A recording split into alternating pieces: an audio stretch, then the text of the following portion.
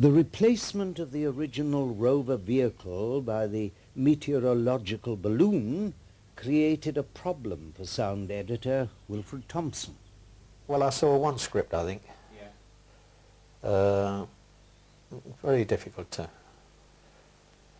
you know, to visualise it honestly. Um,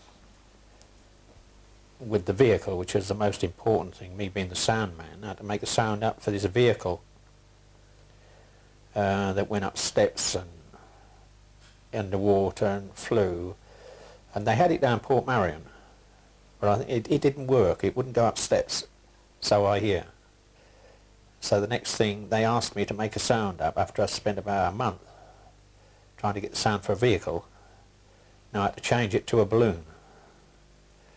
I didn't know what kind of balloon, and nobody was telling me.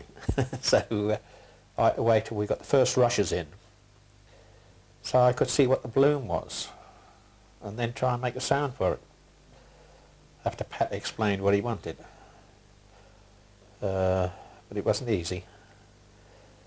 So because he, there were certain sounds he didn't want. If he wanted, at that time, you know, the most advanced sounds were Doctor Who electronic wires. And I thought, well, this is going to be a doddle. But he made the point that he didn't want that. Especially, you know, he didn't want the Doctor Who sounds. So I thought, where do we go from there? Uh, and then he, he, I begin to think that he's looking for something that's half human, you know. So I just went and tried and played around. Amongst the uh, initial ideas for a sound effect for the new rover was the laboured breathing of a deep-sea diver, uh, complete with mask. Uh, this was thought to be appropriate because Rover was, after all, an air-filled balloon. However, this was rejected after the completion of the first cut of the episode Arrival. Well, we went in and uh, I'm trying to think. In fact, I can't remember now what other things we tried with it. Must have been many, many things. Till I hit on this idea of an inner tube. And I put some uh, pellets in there, gunshot pellets. And uh, sealed the tube up, blew it up and rolled the tube around which gave us that sound or the main sound for Rover and then we added other things.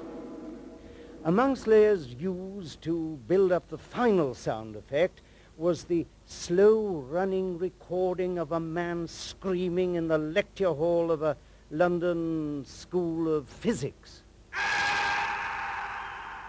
This became the familiar rover's roar also used was a monk's chorus, played in reverse, of course. Now that the village guardian had been changed to a balloon, a shot was devised for the dramatic first appearance of Rover, in which it was to uh, grow in seconds from the size of a golf ball to its familiar six feet in diameter. This effect was achieved by the placing of a miniature balloon in the fountain and bursting it a few frames before revealing the full-sized rover on the Gloriette beyond. The problem of bursting the smaller rover from some distance was handled by propman Mickey O'Toole. I shot that every time with a pellet gun. That little one on the top was a small balloon, a white balloon that I blew up and made for it and put it on. And strangely enough, it danced on top of the fountain without coming off. Yeah. And I think I missed one in, in about eight takes from going from the bang to the one above. And I, I think he gave me abuse for missing. He said, come on, come on, get your act together. Because I missed one with this pellet gun, and I was away about 12 to 14 feet away from that little thing there with a, an ordinary pellet gun, small pellet to break it. And it was no bigger than a golf ball, that little thing on top. And I put it up there on top of that and blew it every time, except once I missed it. I must have been getting fed up with the whole bloody thing by then. but it, worked. It looked good, didn't it?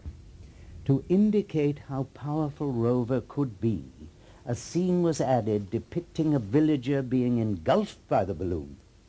This character was played by the third assistant director. That was Seamus Byrne. Uh, Seamus acted as a kind of a runner, third assistant director there. And uh, it was necessary to get someone being engulfed by the balloon. And this was a rather tricky thing because they were big balloons. There was an awful lot of powder inside them. And Seamus anyhow offered to be engulfed by the balloon.